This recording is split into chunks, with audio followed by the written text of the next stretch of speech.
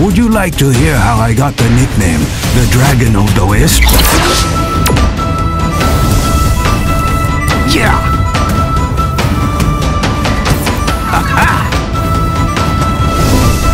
It is a lovely day for a cup of tea, don't you think?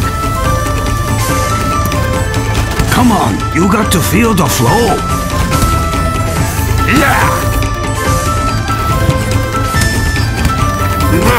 Only once every hundred years can a firebender experience this kind of power.